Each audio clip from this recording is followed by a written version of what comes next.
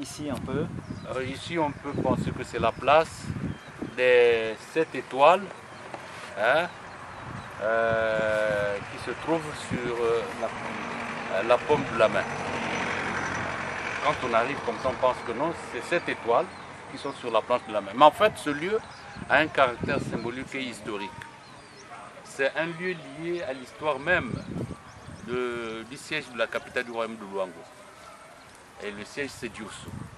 Mais ce site sur lequel nous nous trouvons là euh, s'appelle Mangmidinj. Dinj qui veut dire serré, protégé. corde. Ah, donc en fait, dans l'histoire de la mythologie euh, du royaume de Luango, vous avez en face Nyung. Nyundu et de l'autre côté Chibanda. Bon, ceux qui venaient de Pointe-Noire, s'ils étaient animés de mauvaises intentions, on l'a dit déjà, Ah ouais. donc les deux Je comprends maintenant le mot dit. Euh, Donc ça voilà. Serré, tu Euh, pouvais pas, pouvais voilà. pas passer. pas Voilà. ça. Donc les deux, les deux gorges se retrouvaient pour, pour, euh, euh, pour assurer la protection de la capitale. Et comme on a dit d'ailleurs, que a l'avertissement a été donné par le chacal. Ah, le chacal donnait l'avertissement. Ah, Nakulok, euh, Loka. Maintenant, le village prend le relais pour dire qu'à Ben Kokeban, vous voyez, à Mame Bimo. Donc, bah, fon côte. En ce moment-là, les dignitaires de Boali se retrouvent et s'organisent pour essayer de, euh, de protéger le voyage, et le, le- le- village. Ah, le village. Mais Frédéric Pambou a donné également une autre explication, mais qui, qui n'est pas rejetée. Non. Que ici, effectivement, c'était un centre de regroupement des esclaves avant d'arriver à la stèle là-bas. C'est une explication qui tient la route, mais au moins ce qui est vrai, symboliquement, ce que nous avons appris dans le village, c'est que c'est un site protecteur Du royaume. du royaume. Boali. C'est ça. Donc c'est pourquoi nous avons les sept mains ici et la main qui tient les sept provinces. C'est-à-dire que si effectivement le, le dossier est pris, ça n'est fini pour les autres provinces. Donc c'est ici qu'il faut assurer la sécurité du royaume avant d'assurer la sécurité des autres provinces. Et donc là, il y a une euh, étoile qui représente euh, la- le pouvoir royal, Non, c'est la main elle-même. elle-même là. La main représente le pouvoir, qui veut dire que non, le roi a le contrôle sur les sept provinces. C'est ça. Euh, La main symbolise le pouvoir. Ah. Le Ah roi oui. représente un pouvoir. Un Ah. provinces. Donc, euh, ouais, autour des sept provinces. Donc, les sept provinces sont rassemblées autour de la poigne du roi. En comment C'est ça. En Vili, comment on traduit ça? Bon.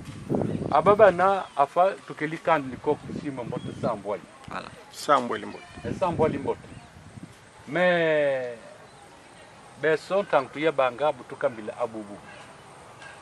Si afafafa magni ɗinj ku ɗinj ku kanga ma cuwan kanga likol ku ɗinjanga donc fafafa bulu kanga la likolu libuala abulu kanga likolu libuala jingi tia tangia vilu kumbate donc c'est ici.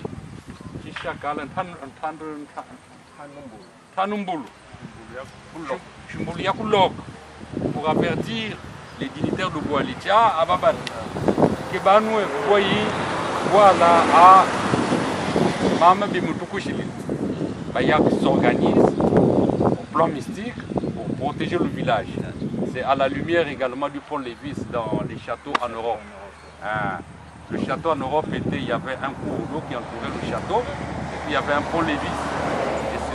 Et c'est sur ce pont Lévis là qu'il fallait marcher pour atteindre le château. Le pont Lévis, c'est à cette image là qu'on a reproduit un peu le phénomène de Mangmedij.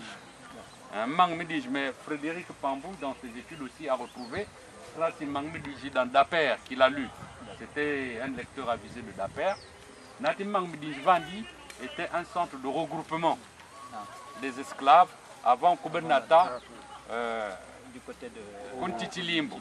Ah, donc c'était ici le centre de regroupement. Mais Maman Vandi, c'est une version qui peut être valable Mais au moins, ce que nous avons étudié, ce que nous avons appris de nos ancêtres, à Mangmedi. Comme on dit, hein, l'histoire c'est le récit des événements passés. Passé, ouais. Chacun apporte euh, Sa version. sa version, Oui. ce qu'il a reçu des Voilà, anciens voilà. euh, par euh, transmission orale. Donc, Ouais, ce ouais. n'est que normal qu'il Oui, y oui. ait différents témoignages C'est ça. qui constituent finalement euh, notre histoire que nous devons écrire. Oui, les. L'histoire est une page vierge. Ah, donc, Béchine Bosso, Fankutubangue, porter témoignage. Voilà, c'est ça. Donc c'est ce que nous avons fait aujourd'hui. Nous avons apporté notre part de contribution dans l'histoire telle qu'elle est rendue par la tradition. Hein, par la tradition. On a vu beaucoup de sites. Oui. Hein, on a vu beaucoup de sites, Ntitilimbu, euh, Mangmedinji, Tamon Chienji, Tamon Vista, tous. On a apporté une explication. Donc maintenant, les Keliafa, il faut réécrire notre histoire à travers Ces symboles, ces symboles, les témoignages. ces témoignages, pour que Vandi Besvitu, Kujimbun, Babuba Takushilukut Kukudio Somo Bakumon, Wal bu biik bokkul. Boal Bubik Bukul. Ah, Et je pense que c'est pour écrire l'histoire, on a besoin pas seulement d'un seul domaine, hein. c'est une réunion Oui. de différentes compétences. Voilà. On a besoin de tout le monde, des ouais. littéraires, des scientifiques pour retracer euh, Ouais. notre histoire. Des anthropologues, des ethnologues, des sociologues, euh, des traditionalistes, des Scientifiques. des scientifiques, euh, des spécialistes en patrimoine culturel. Donc on a besoin de tout ce monde-là pour écrire cette histoire. Elle est là, elle est vivante, elle est devant nous. Ne négligeons pas. Mama c'est ce qu'on a expliqué, déjà tu m'as expliqué. Mais quand on voit Bat, oh, Boalie, ça leur dit rien. Alors que, en grattant un peu, il y a beaucoup de choses. hein, il y a toute une richesse culturelle et historique. Donc, Babana, Betaman Kouikou, prochainement, je crois qu'on pourra faire un effort euh, de faire plus que ça. Hein, Bes Mam Koutoube Mechini. Mam Koutoube Mechini, on essayera ça, ce n'est que Partie remise. une partie remise. Bon, on a atteint une partie de l'exhaustivité. C'est-à-dire que ta cote quand même, mon Bakuzab. Donc, à Babana, euh, Bestaman Kuit. Il y a que on se retrouve à la viliphonie, Merci beaucoup. le mot de clôture.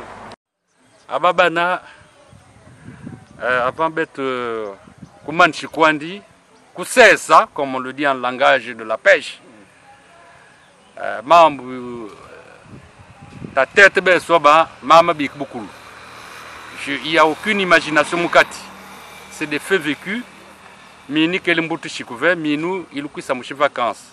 Mama mkashiko kukeli euh, kaka mvandi euh, famille que coupe même ilukwisa mushi sha- mushi vacances ça. mais c'est des témoignages que j'ai reçus.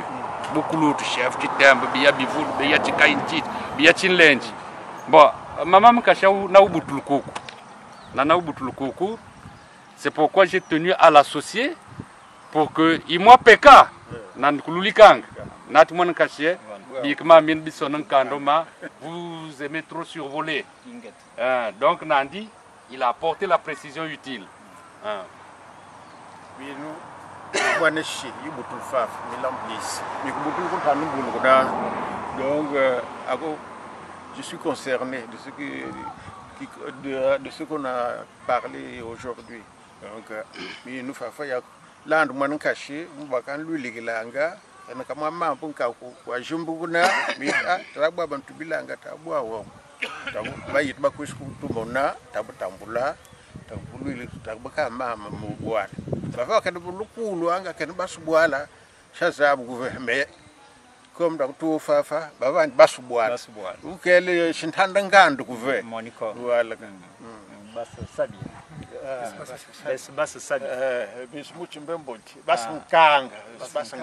ah. ah, tukanga shinganga eh, takutuke kutukubwana takusesa kumonoko kuviyoko bukulu bukulu En tout cas, je vais pouvoir conclure. Je suis euh, Guy Blanchard Cocolo, euh, entièrement ravi de, des témoignages apportés par mes anciens, par mes aînés. Euh, c'est un bonheur, c'est une euh, richesse euh, inouïe que nous avons intérêt à léguer aux générations futures. Euh, on parle de nos, nos enfants, des arrière-petits-enfants, des petits-fils, qui doivent se saisir de l'intérêt euh, historique ces sites-là. Euh, nous en avons vu à la baie de Luango et aujourd'hui nous sommes dans les encablures du royaume Luango et encore on attend euh, la nomination du roi qui serait bientôt euh, connue, hein, euh, c'est dans le cercle des dieux, mais notre intérêt c'est faire passer le message, l'information que nous en avons intérêt de faire attention à notre histoire. Merci. À très bientôt. Les Villifol. Nous sommes ici au site euh, de Mangmidinj. Ce site-là a plusieurs aspects. Il y a un aspect lié à la traite euh, négrière. Ça rentre euh, dans une euh, sorte de dynamique de l'esclave, la route de l'esclave, parce que Fafafa, selon Frédéric Pambou, euh, Fafafa Banga, le regroupement des esclaves. Ça, c'est Frédéric Pambou. Mais ben, tu vas habiller si tu as Mang Medinji, c'est en fait comme ceci. Mang Medinji, manga, c'est le manguier protecteur. Kudinji, Kukang. Donc, Tanguya Banga, avant de kudio, so bien, mamenen mentom quiz. Donc, euh, Fafa Fafa, Lukang la boile, protéger euh, le siège du royaume de Luango, la capitale. C'était protégé ici. Van Van Tinkan Samunen, Mbembo, Jingbaku Diengen Totila. Euh, Le corps du roi, Totila, Jingbaku Diengen, ou bien Moutunen. Fafa Fafa Kudieng na corps, hein, avant Yakukota, Kubwali. Fafa Kudieng na Yaou, euh, Yakusha Mbembo. Mbembo kukosh kubwala ti fan fukenganda général mangandi mbanganga kuchinga ngvumba kuchinga ngvumba ben ku commence mbembo vous traversez tout le village des faluke kota kuchinga donc voilà encore euh, le rôle historique de Mangmidinch Hein, en dehors des trois aspects qu'on venait de soulever. Il y a encore ce rôle là Hein, c'est un site symbolique Euh, un site symbolique basibwali babamvanga autorisation bakokot bakuding nkora fa a nkoshan queen ba yakun koshi yakun nata fofuke ngang eh, fofuke o. Bon. Nganda. euh, nganda bon luango et diosso luango fafi c'est le bibambe. Bon bibambe quand euh, ils sont chez missionnaires quand ils sont venus bah où ils voulaient ils sont dit non betankonda au royaume de luango ils ont donné ce nom-là en fonction de l'esprit d'évangélisation qui les animait. Luango. Et puis c'est un centre intellectuel, c'est le premier centre intellectuel où on formait les gens. Mais en fait, Luango a hérité cette désignation du royaume, c'est en fonction effectivement du rôle historique joué aussi par les missionnaires. C'est à partir de missionnaires que ce site-là, disons que Luango, la baie de Luango, a été désigné ainsi. Parce que les monseigneurs Kari, quand ils sont arrivés, bah, ah, bon, écoutez, Betakutuka, Kuluango. À partir de ce moment-là, le site a pris une résonance historique. Betakutuka, Kuluango. Mais c'est là où ils se sont installés, ils se sont organisés pour former les gens et puis pour évangéliser également le Luango. C'est pourquoi ce site-là a semblé prendre une importance capitale par rapport à Boali. Boali qui est le siège du royaume, euh, là où vit le roi. Le roi vit à Boali. Enfin, en traduction portugaise, Diosso. Adeos, Dios. Donc le roi vit à Diosso. Donc il y a une différence entre Luango, cité religieuse, et Diosso, cité royale. Hein, C'est ça, il y a une différence. Donc il faut faire la différence par là. Et nous avons vu historiquement que Tangi Bambi, côté là, Monseigneur Carré, précisément, côté là, Bafa Obi Et puis, il y avait. Et c'est ça qui indiquait que là, nous sommes à Luango parce que tous les prêtres qui ont évangélisé le, royaume de Luango reposent sur ce site-là. Ah, c'est en fonction du rôle joué par Monseigneur Kari dans l'évangélisation que Luango, en vrai, vrai Kumbu, Mabindu, ou bien il y avait un autre nom là. Il y a Chilashi là-bas. Chilashi Mbindu. Ça, c'est les vrais noms. Maintenant, Babaku Tukila, Babaku Vanukumbu, Chi Luango, parce qu'en fait, c'est le, le début de l'évangélisation a commencé par là. Et comme l'évangélisation euh, coïncidait avec euh, l'histoire du royaume de Luango, et ce site-là a pris ce nom-là. Hein, avec l'évangélisation, ce site a pris ce nom. Mais la capitale du royaume de Luango, c'est, et du royaume de Luango, c'est Diosso, Boali, là où nous sommes présentement. Ah, déjà, Boali. Ah, Maintenant, bah, entre-temps, bah, c'est dans Boali, il y, a, il y a des quartiers qui ont des noms Bon. significatifs. Dans Boali, Boali, il y a des quartiers. C'était une grande ville, une ville bien structurée, organisée. Il y a des quartiers. Faut tout qu'il y a. C'est bon? Bon. Diosso, Naouyab organisé. Il y a des quartiers. C'était une ville bien tracée, avec des ruelles euh, partout. Alors, faut qu'il y a fa, faut mang midinja fa fa fa. C'est Tanumboul. Pourquoi? Parce que ce quartier-là est situé à l'entrée du village. Donc, Chimboul, ça c'est avertir Ngang Boali, ti ah, et Chibiti Kamukouisang, Lulman. Donc, Tchabavan, le quartier Tanumboul. C'est situé à côté de Tanumpunji Van. Il faut logique là, les anciens rois. Euh, Tanumpunji, quelque part, et puis Tanumboulou arrive. Mais ce n'est pas un quartier, Tanumpunji, hein, c'est un site. Bon, quand euh, moi, tu l'as man Tanumboulou, Chibouli Yang. Bon, Fafan Fena, c'est le quartier Chichi Chef. Chef Bita, chef Chitembo. Bon, il vivait là. hein. Et puis quand vous descendez, Chingangvoum, c'est l'ancien palais royal. hein, l'ancien palais royal. Donc, Faya Banga. Maintenant, quand euh, on remonte un peu. Koutabinji là, on remonte, vous avez Ndoukoulmash. C'est le quartier du château d'eau. C'est celui qui est autour du, du autour. site de, au, Du- au, euh, qui est au- autour du site de Gorge de Diosso et en face euh, de Tchingangvoum. Donc, quartier Nina Bentelanga, Ndoukoulmash, c'est le quartier du château d'eau. Et puis également, parce que Kouna, ça ouvre sur Mbunga, là on allait chercher de l'eau. Hein, Ndoukoulmash, c'est à cause de ça. Et puis quand vous remontez Mbouloumpo, ça c'est le quartier des commerçants. Abia Olivera, Abia Bertra, Abia Chinunji, c'était des grands commerçants à l'époque. À l'époque aussi, il y avait Mbourmikous. Donc c'était le, grand quartier des commerçants. Quand vous remontez, Mongompel, c'est le quartier des catéchistes. Voilà présenter un peu les quartiers de Diosso qui ont une valeur symbolique. Hein, il y a une valeur symbolique. Chaque quartier, effectivement, avait sa fonction, mais ce n'était pas des fonctions comme on les trouve dans des quartiers ordinaires, quartiers commerciaux, quartiers ceci, quartiers... Non, c'était des quartiers qui avaient une valeur symbolique en fonction du rôle joué par les différents quartiers. Donc, euh, voilà un peu Diosso, comment Diosso était structuré. Et puis, à Koukou, Mbungu Miyombi. Donc, Dios Fumei. Dios. Il m'a entendu Nina Yabe Vangli Dios. Ah. Mais il faut organiser ça.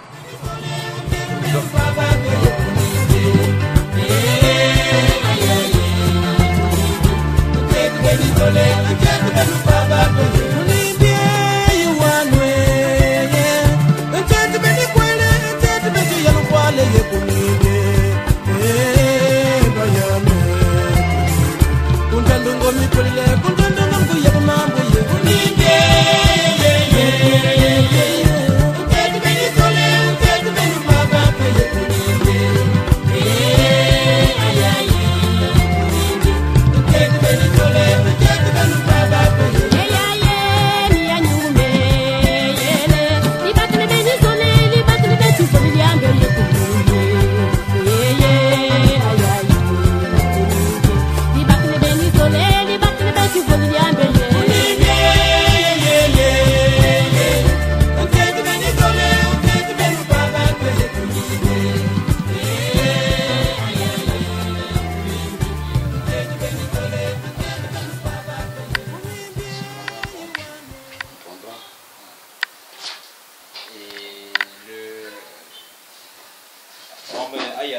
certainement compris mon, mon intérêt hein, dans, dans ce projet-là aussi, c'est se faire connaître, c'est se faire identifier parce que nous qui sommes à l'étranger, il y a des fois où on, se, on est aussi rejeté, on n'est pas chez nous. À la fin, on se dit, ben, on vient de quelque part.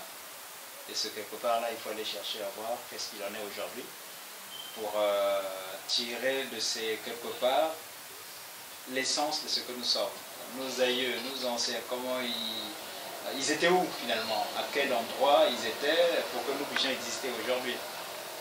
Il y a eu un pont entre nous et eux, c'est les parents qui n'ont pas tout dit, qui n'ont peut-être rien dit aussi. hein. Et, euh, mais entre nous, les aînés, il y a eu quand même un transfert d'informations euh, orale. C'est un transfert oral. Et c'est dans, cette, dans, ce, dans ce partage oral que les anciens ont laissé, que nous, aujourd'hui, on peut s'appuyer un peu pour connaître mal. hein, et connaître finalement mal. Et surtout, savoir comment nos anciens ont survécu dans des situations délicates de maladies et autres. Comment ils ont fait pour vivre, comment ils ont fait pour manger. Bi bi euh, kuvat euh, chez Sola. Bon, tout ça, c'est sûr que ça viendra plus tard. Mais aujourd'hui, nous, le but, personnellement, c'est faciliter le retour au village. Pas pour y habiter, Mon- mais au moins connaître son village. Ça là, tu arrives à Nantes, Hmm. tu trouveras les véritables archives. Ah, Les véritables ah, archives. ouais, c'est ça. Parce que ici, René et moi, nous sommes de Poigny. Quand je constate que Poigny, à l'époque, c'était une évidence, Hmm. était beaucoup plus peuplé que Sainte-Marie, Ah, Caille-Poste, Kai Post. Là aussi, Hmm. allez-y comprendre. Ouais. Ouais. Et Or, aujourd'hui, aujourd'hui, quand tu regardes, ah, tu prends euh, la rive droite de Man. hmm. Bah, bah, Botkay, il y a beaucoup de, des étrangers, bah.